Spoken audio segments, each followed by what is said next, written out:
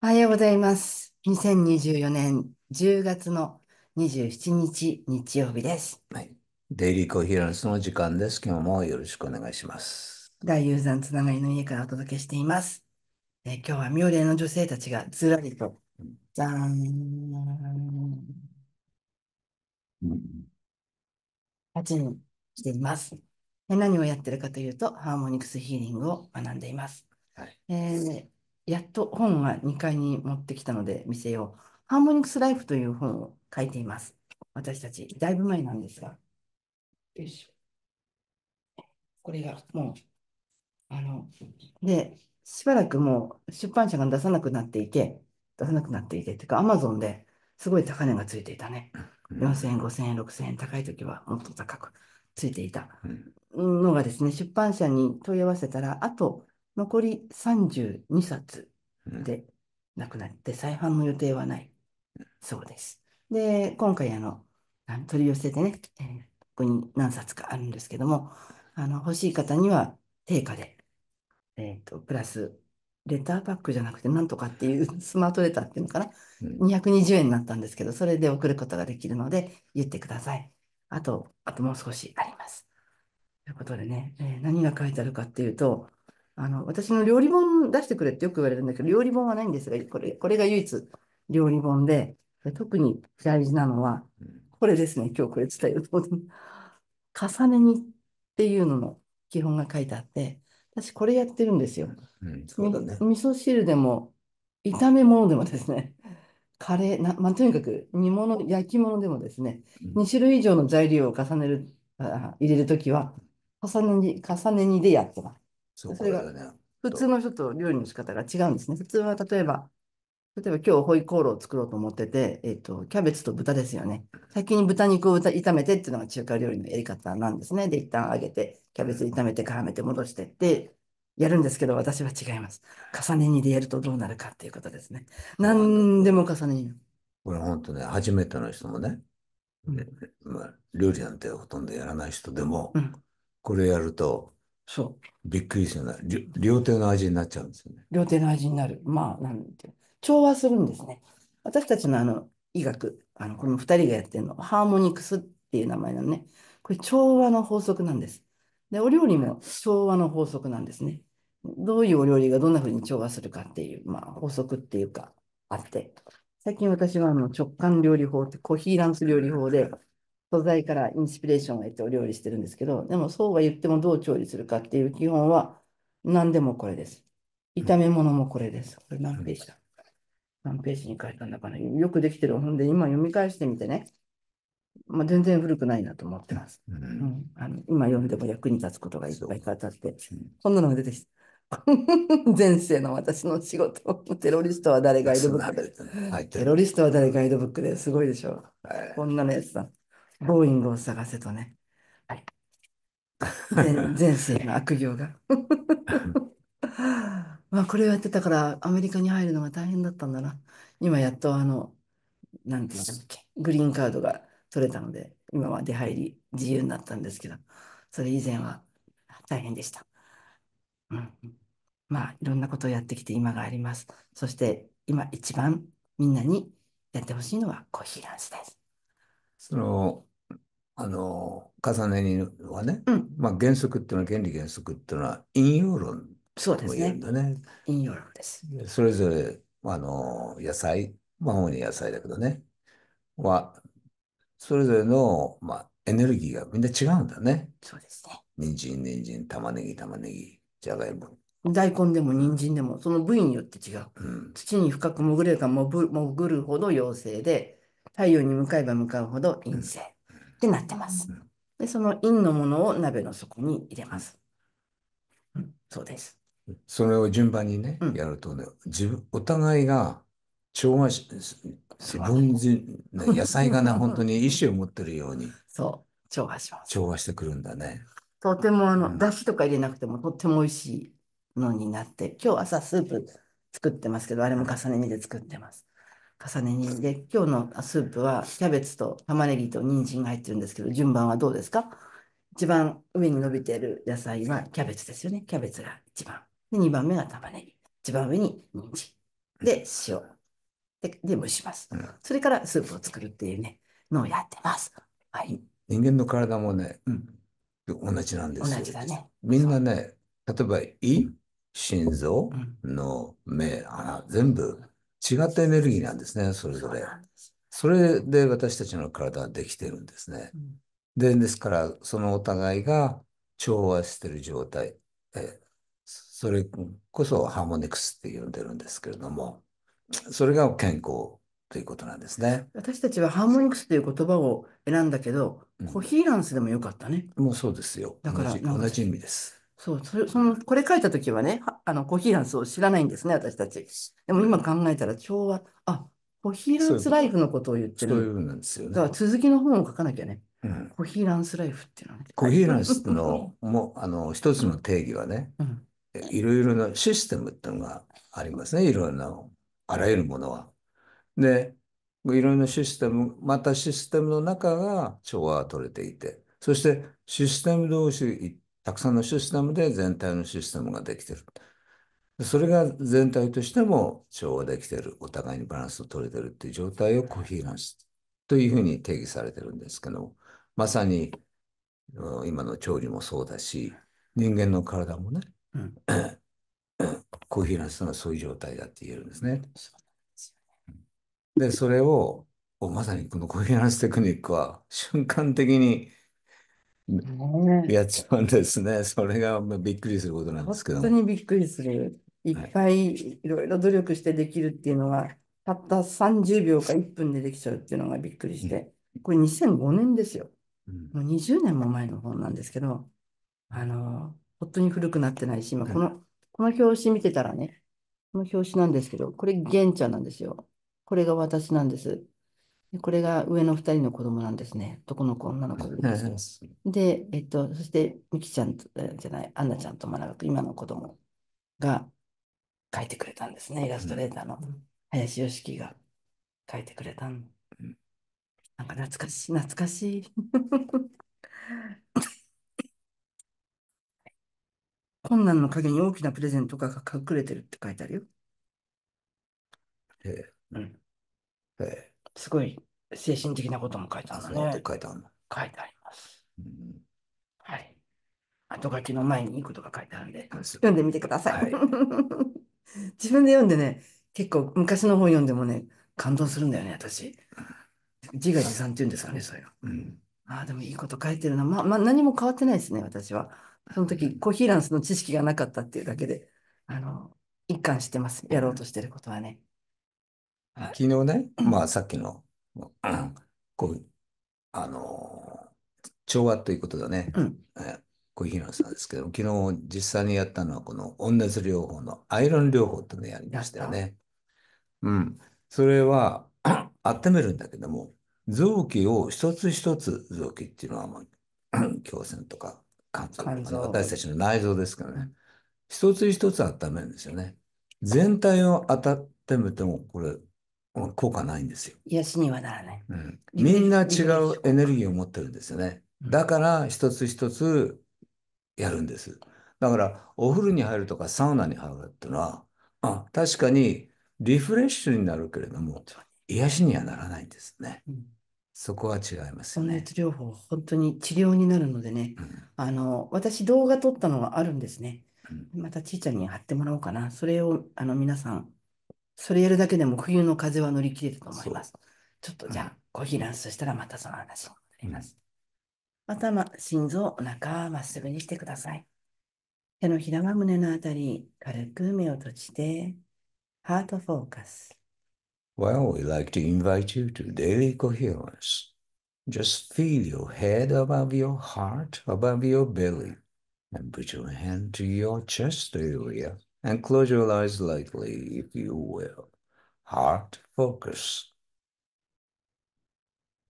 意識を下へ下へ下ろして、あなたのハートに集中します。 Bring down all your consciousness from your head to your chest area. Focus all attention to your beautiful heart.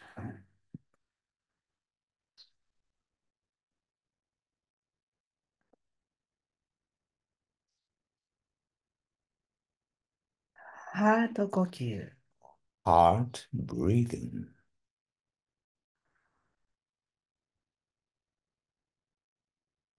まるで心臓から息をするように、普段よりゆっくり深く呼吸します。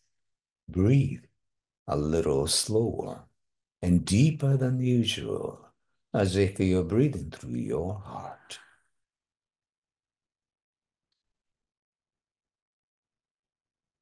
よろしければ5秒で吸って5秒で吐きます。 Breathe in five seconds. Breathe out five seconds, if you will.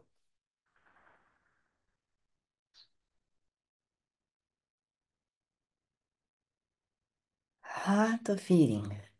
Heart feeling of appreciation.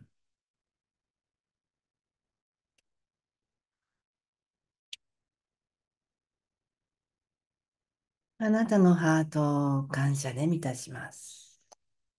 Fill your heart with the feeling of appreciation.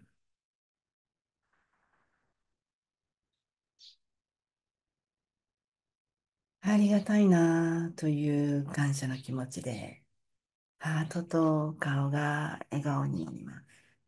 You can make a big smile in your heart and on your face with the feeling of appreciation.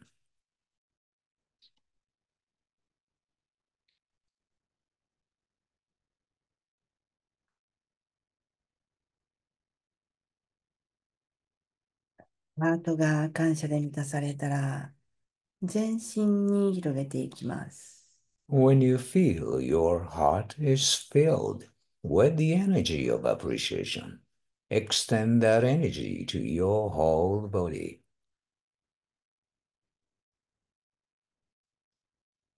その時、体の気になる場所があれば、そこに感謝を向けます。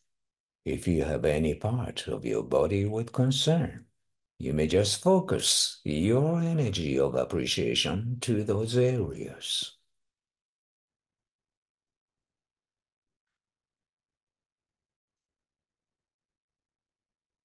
全身が感謝で満たされたら、周りの人へ送ります。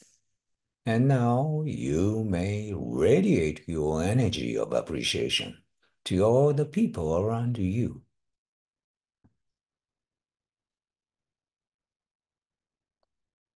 あなたの家を感謝で満たします。 Fill your house or room with your energy of appreciation.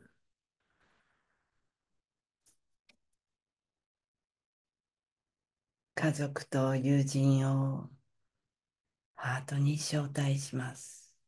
You may invite your family members and friends into your heart.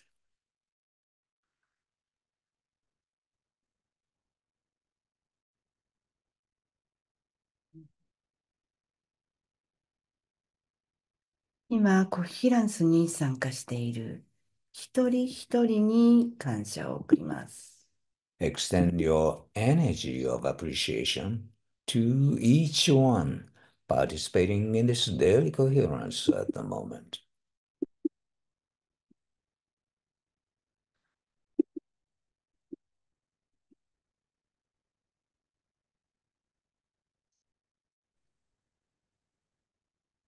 一人一人に健やかさ、心の平安と思いやりを送ります。Extend your energy of well being, peace of mind, and compassion as well to each one on this call. 私たちが感謝と健やかさ、平和と思いやりのエネルギーで一つになります。 And now just feel we are united as one with the energy of appreciation, Well being, peace, and compassion.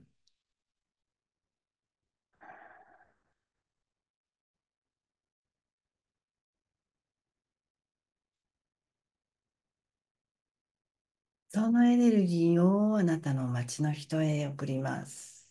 Then extend that energy to the people of your town and city.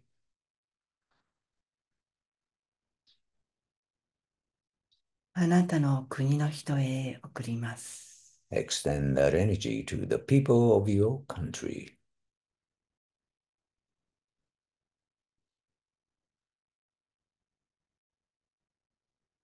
あなたの大陸の人へ送ります。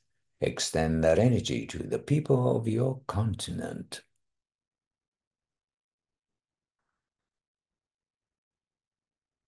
地球のすべての人に送ります。Extend that energy to all the people on this planet.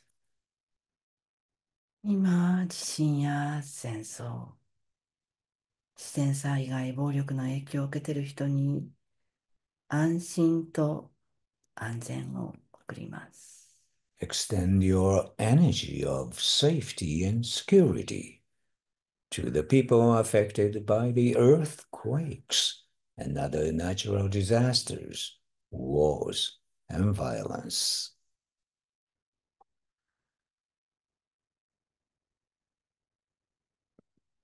私たち全員のエネルギーで地球を包みます。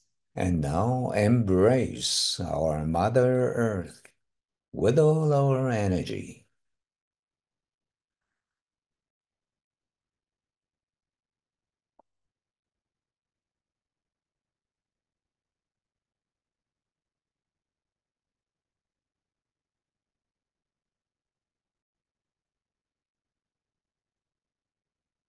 そのエネルギーを地球のすべての命に送ります。 And then extend that energy to all the living beings on this planet. そして空へ宇宙へと送ります。 Then extend that energy to our sky and universe.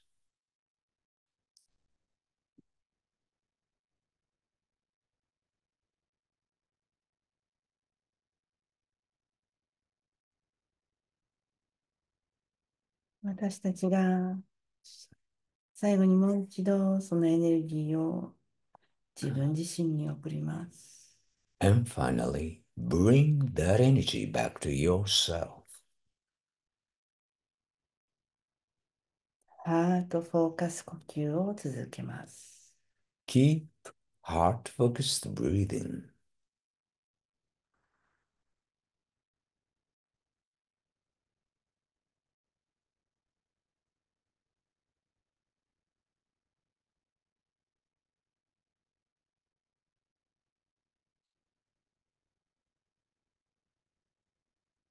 私たちが感謝と健やかさ、平和と思いやり、安心と安全のエネルギーで、お互いと地球、そこに生きるすべての命、空、宇宙とつながったなぁと感じたら、目を開けてください。If you feel we all get connected with each other, the earth, all the living beings there, our sky and universe, with all our energy of appreciation, well being, peace, compassion, safety, and security, please slowly open your eyes.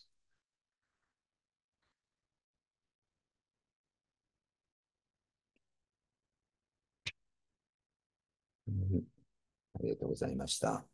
ブレイクアウトルーム作るね。今日は投票日なんだよ。そうだね。うん、みんな行ったかな？私たちはもう行ったんだ。そう、住民票置いといてよかったなと思って。前は住民票がなかったんです。でも、あの、ここに、つながりの家に住民票を入れたんですね。うんまたハワイ帰ったら抜くかどうか考えなきゃいけないけど、とりあえず今回は選挙に参加できて嬉しいです。この国の人はね、選挙権があっても投票しない人いっぱいいるらしいからね。そうなんだそれね。はもったいないですよね。自分の意思表示、あの、まあ、選挙運動とかしなくてもいいとは、まあ、それ自由ですけど、自分の意思表示なんですよね。どういう、なんていうかな、意思表示です。どういう未来、どういう日本に住みたいかっていうのをね、うん意思表示してくださいね。ハートに聞いて投票したらいいと思います。私はあの、どちらの候補者もよく名前わかんな、あ名前っていうか、どういう人か知らないんですけど、コヒーランスしたら、こっちって言った人の方を書きました。あとは知ってる。投票行く前にね、うんほんのちょっとこのコヒーランスして、うんそうするとね、多分ハートが言ってくると思いますハートがよ。この人がいいよってね、うん言ってくれました。コヒーランス投票。うん、コヒーランス投票。流行らせようか。うん、いいね。コヒーランスライフの中に、次の本にはそれを書こう。あの、どん、どんな時でも使ってますね、コヒーランス。本当にもう日常、日常茶飯事っていうか、何でもわかんないと思ったらパッてハートに聞けばいいっていう感じになってきています。お料理のスピードは本当に速くなったんです。早いでしょ？私、ちょ、ちょっとの間にいっぱい作るじゃないですか。あの、全部アイデアを湧いてくるんですね。そういうのも。コヒーランスの効果です。それをね、うんハートマス研究所は、ハートベーストリビング、あライフって言ってるんですね。要するに、ハートに根ざした生き方、人生、えこれを目指しましょうという提唱をしてるんですよ。まあ、まさにコヒーランスハートベースを日々やっていきましょうということです。うん、まあ、このいろいろ迷いますよね。まさに投票所でね。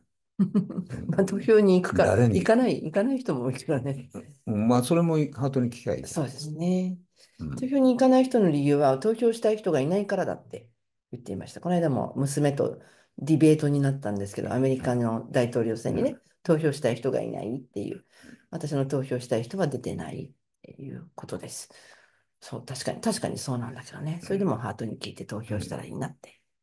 だ大統領選ももうすぐだよ。そうだよ。